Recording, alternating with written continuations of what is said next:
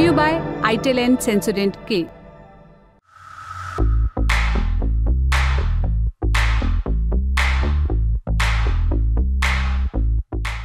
आज के शो में देखिए श्रीलंका में राष्ट्रपति चुनाव की कहानी। भारत के लिए क्या दांव पर लगा है? बांग्लादेश ने जमाते इस्लामी से बैन क्यों हटाया? और टेलीग्राम के फाउंडर पाविल दुरो के साथ अब क्या हुआ है? नमस्कार मेरा नाम उपासना है और आप देखना शुरू कर चुके हैं लल्लन टॉक का अंतर्राष्ट्रीय प्रसंगों से जुड़ा रोज़ाना का कार्यक्रम दुनियादारी। बस बैक आया एस एल एस पैरापिन और दूध का करंट भी कौन तो लाइफ का करंट ऑन कुछ भी। तो ट्राई करके देख ले। Sensodent K toothpaste for sensitive teeth. पहले बात श्रीलंका चुनाव की। श्रीलंका एक द्वीपीय देश है हिंद महासागर में बसा है। किसी भी देश के साथ जमीनी सीमा नहीं लगती है। सबसे करीबी देश भारत है।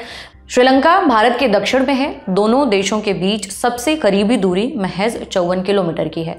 श्रीलंका की आबादी लगभग दो करोड़ बाईस लाख है। सत्तर फ़ीसदी लोग बौद्ध धर्म को मानने वाले हैं, बारह फ़ीसदी लोग हिंदू धर्म को और दस फ़ीसदी इस्लाम को मानते हैं। ईसाइयों की संख्या साढ़े सात फ़ीसदी के आसपास है। श्रीलंका का क्षेत्रफल लगभग पैंसठ हज़ार वर्ग किलोमीटर है। भारत के असम राज्य से भी छोटा। कोलंबो, श्रीलंका की कार्यकारी और न्यायिक राजधानी है। श्री जयवर्धनेपुरा कोटे विधायी राजधानी है। संसद यहीं पर है। आज श्रीलंका की कहानी क्यों? क्योंकि सितंबर 2024 में वहाँ राष्ट्रपति चुनाव होने वाला है। मई 2022 में तत्कालीन राष्ट्रपति गोटबाया राजपक्षा देश छोड़कर भाग गए थे। तब इनडायरेक्ट इलेक्शन में रनिल विक्रम सिंघे को राष्ट्रपति चुना गया था। उनका कार्यकाल नवंबर 2024 में खत्म हो रहा है। इसके लिए 21 सितंबर की तारीख तय हुई है। कितना अहम है श्रीलंका में राष्ट्रपति चुनाव? श्रीलंका में सेमी प्रेसिडेंशियल सिस्टम है। वहाँ राष्ट्रपति भी होते हैं और प्रधानमंत्री भी। दिनेश गुणवर्धने मौजूदा समय में श्रीलंका के प्रधानमंत्री हैं। सबसे ज़्यादा ताकत राष्ट्रपति के पास होती है। वो सरकार के साथ साथ राष्ट्र के भी मुखिया होते हैं। राष्ट्रपति के पास और क्या शक्तियाँ हैं? सशस्त्र सेनाओं की कमान उनके पास होती है। वे किसी दूसरे देश के खिलाफ जंग का ऐलान कर सकते हैं। राष्ट्रपति के पास आपातकाल घोषित करने का अधिकार भी है। कौन बन सकता है श्रीलंका का राष्ट्रपति? मुख्य अर्हताएँ जान लीजिए। श्रीलंका का नागरिक हो, उसके पास किसी और देश की नागरिकता ना हो, उम्र 30 बरस से ज़्यादा हो, वोट डालने की योग्यता पूरा करता हो। श्रीलंका में राष्ट्रपति पद का कार्यकाल पाँच बरस का होता है। कोई व्यक्ति अधिकतम दो बार राष्ट्रपति बन सकता है। कैसे होता है राष्ट्रपति का चुनाव? श्रीलंका में राष्ट्रपति सीधे जनता के वोट से चुने जाते हैं। चुनाव लड़ने के इच्छुक लोग इलेक्शन कमीशन में अर्जी लगाते हैं। इलेक्शन कमीशन जाँच पड़ताल के बाद लिस्ट निकालती है। इस बार उनतालीस लोगों के आवेदन पर मुहर लगाई गई है। 2019 के राष्ट्रपति चुनाव में 35 उम्मीदवार थे। एक बार नाम तय हो जाए तो तय तारीख पर वोटिंग कराई जाती है, जिस कैंडिडेट के खाते में 50 फ़ीसदी से ज़्यादा वोट आते हैं, उसे विजेता घोषित किया जाता है। अगर 50 फ़ीसदी वोट ना आए तो क्या होता है? श्रीलंका के इतिहास में अभी तक ऐसा नहीं हुआ है। हमेशा पहले राउंड की काउंटिंग में ही विजेता मिल गया है। अगर पहले राउंड में विजेता ना मिले तो तो क्या होता है? फिर सेकंड प्रेफरेंस की गिनती की जाती है। दरअसल राष्ट्रपति चुनाव में वोटर्स के पास तीन विकल्प चुनने का अधिकार होता है। वोटर्स प्राथमिकता के आधार पर तीन उम्मीदवार चुन सकते हैं। जो सबसे ज़्यादा पसंद हो, उसे पहला नंबर उससे कम पसंद हो, उसे दो नंबर उससे कम पसंद को तीसरा नंबर दिया जाता है। अगर पहले राउंड की गिनती में किसी कैंडिडेट को 50 फ़ीसदी से ज़्यादा वोट नहीं मिलता तो अगले प्रेफरेंस की गिनती कराई जाती है। 2019 के राष्ट्रपति चुनाव में गोटबाया राजपक्षा को पहले राउंड में ही बावन दशमलव दो पाँच फ़ीसदी वोट मिले थे, इसलिए दूसरे राउंड की काउंटिंग की ज़रूरत ही नहीं पड़ी। अगर किसी कारण से राष्ट्रपति को कार्यकाल के बीच में हटना पड़े तो क्या होता है? उस स्थिति में संसद सीक्रेट बैलेट के ज़रिए नए राष्ट्रपति को चुन सकती है। इस तरह के चुनाव में सिर्फ़ सांसद ही वोट डालते हैं। आखिरी बार ये व्यवस्था जुलाई 2022 में इस्तेमाल की गई थी, गोटबाया राजपक्षा के देश छोड़कर भागने के बाद। उस चुनाव में रनिल विक्रम सिंघे को जीत मिली थी, जबकि वो अपनी पार्टी के इकलौते सांसद थे। ये तो हुआ राष्ट्रपति चुनाव का प्रोसेस अब इस बार के चुनाव की बात कर लेते हैं। 21 सितंबर को वोटिंग होगी 22 सितंबर को रिज़ल्ट आ जाएगा। आमतौर पर रिज़ल्ट वाले दिन ही विजेता उम्मीदवार राष्ट्रपति पद की शपथ ले लेता है। टॉप फाइव कैंडिडेट्स के नाम जान लीजिए। नंबर एक रनिल विक्रम सिंघे वो मौजूदा राष्ट्रपति हैं। छह बार देश के प्रधानमंत्री रह चुके हैं।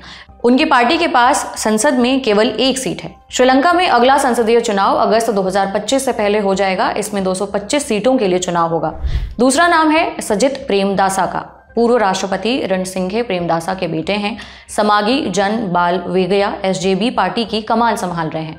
सजित सेंटर लेफ़्ट अप्रोच रखते हैं। श्रीलंका में टैक्स नियमों में बदलाव के पक्षधर हैं। अर्थव्यवस्था के मुद्दे पर चुनाव लड़ रहे हैं।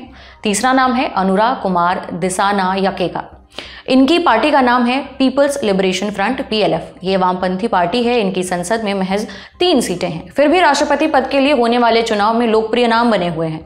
इनकी सबसे बड़ी वजह है उनका करप्शन विरोधी अप्रोच। उनका कहना है कि वो सत्ता में आए तो देश से करप्शन मिटा देंगे। चौथा नाम है नमल राजपक्षा का। राजपक्षा परिवार के वारिस, उनके पिता महिंदा राजपक्षा और चाचा गोडबाया राजपक्षा दोनों देश के राष्ट्रपति रह चुके हैं। कहा जा रहा है कि रनिल विक्रम सिंघे को जीत से रोकने के लिए उनको चुनाव में उतारा गया है। हालाँकि इनके चुनाव जीतने की संभावना बेहद कम है। और पांचवा नाम है नुवान बोपेज का। पीपल्स स्ट्रगल अलायंस इनकी पार्टी है। उनका कहना है कि श्रीलंका सिर्फ़ आईएमएफ के लोन से नहीं चलेगा। हमें इसके अलावा भी कोई रास्ता खोजना होगा। वो पेज देश में गरीबों के लिए आर्थिक सुधार की नीति लाना चाहते हैं। ये चुनाव क्यों खास है? जैसा कि हमने पहले भी बताया, ये 2022 के तख्ता पलट के बाद पहला राष्ट्रपति चुनाव है। 2022 में ज़बरदस्त विद्रोह के बाद गोटबाया राजपक्षा को देश छोड़कर भागना पड़ा था। श्रीलंका के इतिहास में ऐसा पहली बार हुआ था कि किसी राष्ट्रपति को इस्तीफा देकर देश छोड़ना पड़ा था। हमने श्रीलंका के चुनाव को और विस्तार से समझने के लिए ऑब्जर्वर रिसर्च फाउंडेशन यानी ओ में एसोसिएट फेलो आदित्य शिवमूर्ति से पूछा, इस बार का राष्ट्रपति चुनाव किन किन मुद्दों पर लड़ा जा रहा है? देखिए, जो ये श्रीलंकन इलेक्शंस हो रहे हैं ट्वेंटी फ़र्स्ट सेप्टेम्बर को, ये अपने पुराने और पिछले वाले जो इलेक्शन है, उससे थोड़ा डिफरेंट है, उससे थोड़ा अलग है। क्योंकि जो पुराने वाले इलेक्शन हुए थे, वो दरअसल ऐसे सिक्योरिटी रिलेटेड मैटर्स टेररिज्म या इंसर्जेंसी इनके ऊपर ज़्यादातर बात किए जाते थे। अब ये जो ये जो, ये आ रहा है, नया वाला इलेक्शन आ रहा है, ये पहला इलेक्शन ने पोस्ट अरागालिया ये जो पोस्ट इकोनॉमिक क्राइसिस से पोस्ट पॉलिटिकल क्राइसिस से, जो 2022 से शुरू हुआ था तो अभी जो वो एक, जो वो वाला हैंगओवर अभी खत्म नहीं हुआ है। तो ये जो इलेक्शंस होने वाले तो इसके मेन मुद्दे ज़्यादातर ये जो अरागालिया मूवमेंट के बारे में थे और जो ग्रीवेंसेस थे लोगों के, जो उनकी कष्ट थे तो उसी उसी के अराउंड जा रहे तो अभी पहला इशू जो है वो करप्शन के बारे में बात कर दिया जा रहा है। अब दूसरा इशू है इकोनॉमिक रिकवरी इकोनॉमिक पॉलिसीज़ और तीसरा इशू है जो पॉलिटिकल रिफॉर्म्स के बारे में बात कर रहा जा रहा है।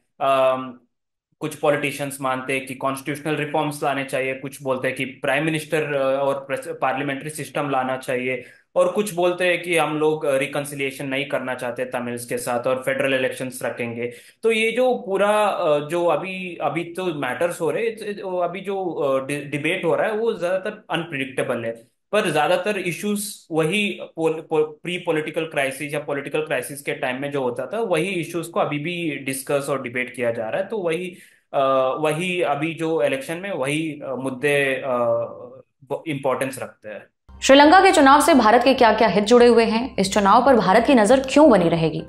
देखिए फिर से मैं ये बोलना चाहता हूँ कि जो पॉलिटिकल क्राइसिस और इकोनॉमिक क्राइसिस के बाद ये जो इलेक्शन हो रहा है पहला वाला इलेक्शन है। तो और श्रीलंका और इंडिया को वैसे भी देखा जाए तो दरअसल हमारी जो हिस्टोरिकल कनेक्टिविटी है जियोग्राफिकल कनेक्टिविटी है, जो श्रीलंका में होगा, उसका इम्पैक्ट स्पिल ओवर इम्पैक्ट हम जो बोलते हैं, वो हमेशा इंडिया में दिखता है। ठीक है? तो अगर जो नया वाला सरकार आएगा तो इकोनॉमिक स्टेबिलिटी नहीं बनेगी पॉलिटिकल इंस्टेबिलिटी बढ़ती जाएगी तो वो स्पिल ओवर इम्पैक्ट इंडिया के लिए तो रहेगा ही।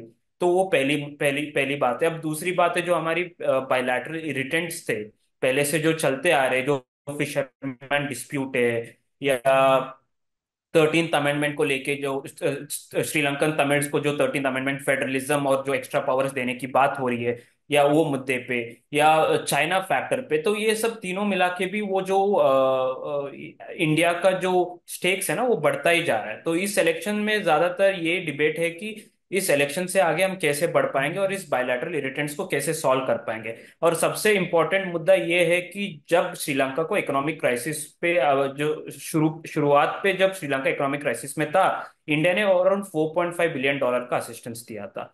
तो ज़्यादातर वो असिस्टेंस अब प्राइवेट इन्वेस्टमेंट्स बन चुके हैं ग्रांट्स हो चुकी है लोन्स हो चुके हैं। सो इंडियन प्रोजेक्ट्स जो है श्रीलंका के पूरे आ, पूरे जो टेरिटरी से वहाँ पे फैले गए हैं। पूरे जो प्रोविंसेस है। तो एक इम्पोर्टेंट क्वेश्चन ये भी बनता है कि अगला जो सरकार आएगा, क्या ये पॉलिसीज़ कंटिन्यू करेंगे या क्या या, क्या ये इन्वेस्टमेंट प्रोजेक्ट्स को इम्प्लीमेंट करेंगे? ये भी एक अहम मुद्दा है। इस चुनाव में विक्रम सिंघे सबसे प्रबल दावेदार बताए जा रहे हैं। ये भी कहा जा रहा है कि यह चुनाव उनकी आर्थिक नीतियों का जनमत संग्रह है।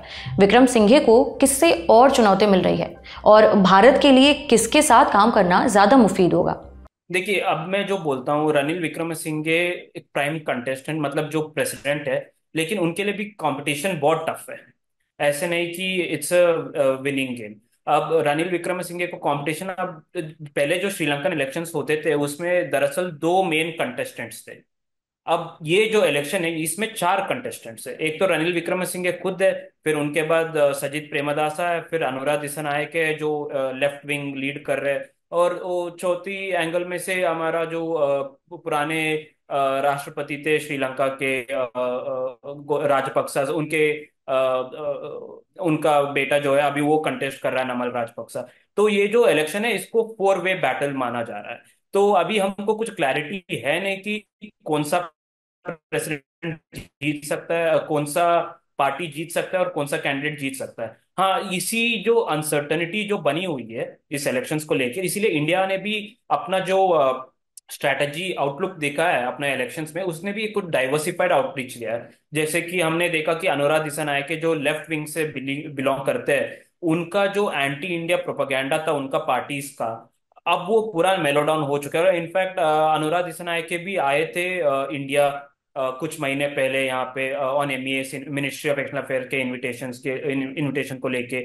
और नमल रा, नमल राजपक्सा तो आते रहते हैं रणील विक्रमसिंघे भी आए थे इंडिया। और अभी बात बन रही है कि सजित प्रेमदासा भी शायद इंडिया आ सकते हैं। तो ये वाली जो इंडिया ने जो डाइवर्सिफाइड आउटरीच बनाए रखी है ये इसलिए कि इतना अनसर्टनिटी है श्रीलंका में कि किसको पता नहीं कि आगे क्या हो सकता है।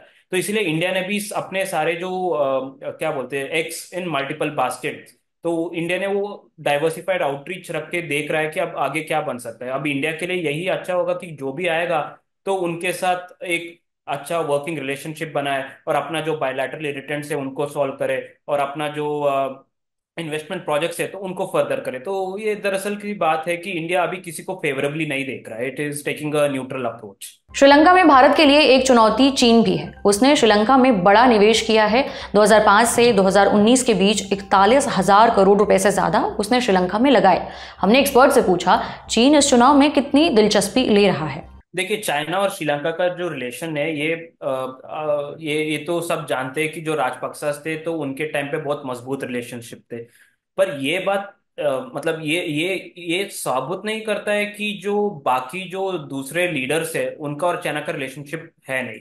चाइना और श्रीलंका का रिलेशनशिप हमेशा रहा है राजपक्सा रहे या ना रहे उसका जो इकोनॉमिक लेवरेजेस है जैसे आपने बताया कि चाइना ने इतना इन्वेस्टमेंट कर चुका है श्रीलंका में। तो कोई भी सरकार आएगा तो उनके साथ बात करेगा कोई भी सरकार आएगा उनके साथ इंटरेक्ट करेगा कोई भी सरकार आएगा उनका जो सेंसिटिविटी से या सिक्योरिटी एम्बिशन से उनको वो फर्दर करते रहेंगे। ठीक है? तो ये बात तो अ, ये बात तो अ, ज़ाहिर सी है कि चाइना का जो इन्फ्लुएंस है वो श्रीलंका के ऊपर इतना बढ़ चुका है कि कोई भी प्रेसिडेंट आएगा वो वो चाइना के साथ बात करेगा वो वर्किंग रिलेशनशिप बनाएगा ही। तो अब चाइना का दूसरी बात क्या है कि जो इकोनॉमिक क्राइसिस हुआ था उसमें तो चाइना ने असिस्ट नहीं किया। पर जब इकोनॉमिक रिकवरी प्रोसेस हो रहा है तो China is investing a lot China का इन्वेस्टमेंट्स बढ़ रहा है। इनफैक्ट हम्बन तोटा में चाइना इज़ uh, क्या बोलते हैं उसको एक ऑयल रिफाइनरी बना रहा है जिसमें चार पॉइंट बिलियन चार point five four point five billion US dollar का इन्वेस्टमेंट है। ठीक है? तो इससे हमको दे, हम देख सकते हैं कि श्रीलंका को भी चाइना की ज़रूरत है और चाइना को भी श्रीलंका की ज़रूरत है। तो आगे वाले जो इलेक्शंस आएँगे चाइना भी देख देखेगा कि कौन आएगा और इनके साथ कैसे रिलेशनशिप बनाया जाएगा। हालाँकि जब रनिल विक्रमसिंघे ने एक साल का जो बैन लगाया था चाइनीज़ स्पाई शिप्स के ऊपर उसको लेके थोड़े चर्चे हुए थे और चाइना थोड़ा डिससेटिस्फाइड था इस डिसीज़न को लेके। कि आपने अ, हमारे स्पाइस शिप्स के ऊपर ऐसे क्यों रिस्ट्रिक्शंस डाल दिया और दूसरे शिप्स को क्यों छोड़ रहे हो? तो अब सब अब जनवरी में वो रिस्ट्रिक्शन खत्म होने वाला है। तो चाइना ये भी देखेगा कि आगे जो आएगा वो स्पाइस शिप्स को अलो करेगा या आगे जो आएगा उसका इकोनॉमिक रिलेशंस कैसे बनाया जाए और इकोनॉमिक रिकवरी प्रोसेस कैसे बनाया जाए। और फाइनली मैं ये बोलना चाहता हूँ कि चाइना ने श्रीलंका श्री श्रीलंका के ऊपर बहुत इन्वेस्ट किया है और चाइना ने बहुत लोन्स भी दिया है। तो अभी जो रिकवरी प्रोसेस हो रही है तो जब श्रीलंका रिकवर होगा तो चाइना भी अपना लोन्स जो इन्वेस्ट किया है, उसको रिटर्न ऑन इन्वेस्टमेंट मिल पाएगा। अगर श्रीलंका रिकवर ना हो पाए तो चाइना के लिए सबसे बड़ा लॉस होगा। More than any other country be it India और जापान चाइना को सबसे बड़ा लॉस होगा। तो इसलिए चाइना भी देख रहा है कि आगे वाले इलेक्शंस कैसे होंगे और उनके साथ कैसे रिलेशंस बनाए जाए, ये भी थोड़ा अनप्रिडिक्टेबल सिचुएशन है श्रीलंका में तो अभी। तो इंडिया चाइना यूएसए जापान सब लोग देख रहे हैं कि क्या होगा, कैसे होगा और आगे कैसे डील किया जाए। यह था हमारा बड़ी खबर सेगमेंट। अब सुर्खियों की बारी। पहली सुर्खी बांग्लादेश से है। अंतरिम सरकार ने जमात इस्लामी बांग्लादेश पर लगा बैन हटा लिया है। ये बांग्लादेश की सबसे बड़ी इस्लामी पॉलिटिकल पार्टी है। स्थापना मई उन्नीस में हुई थी। 2013 में सुप्रीम कोर्ट ने पार्टी के चुनाव लड़ने पर रोक लगा दी। उनके खिलाफ संविधान के उल्लंघन का आरोप था। फिर एक अगस्त दो हज़ार चौबीस को शेख हसीना सरकार ने जमात पर पूर्ण प्रतिबंध लगा दिया।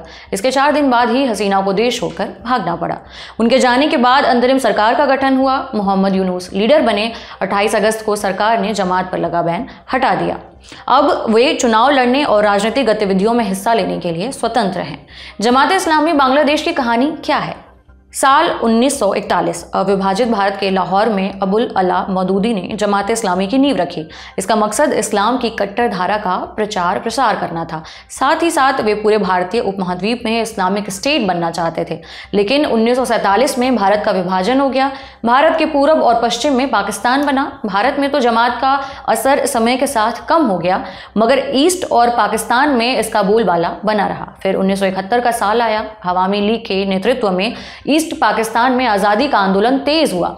जमात ने इसका विरोध किया। उन्होंने आंदोलन को कुचलने में वेस्ट पाकिस्तान की फौज की मदद की। मगर उनको इसका फ़ायदा नहीं हुआ।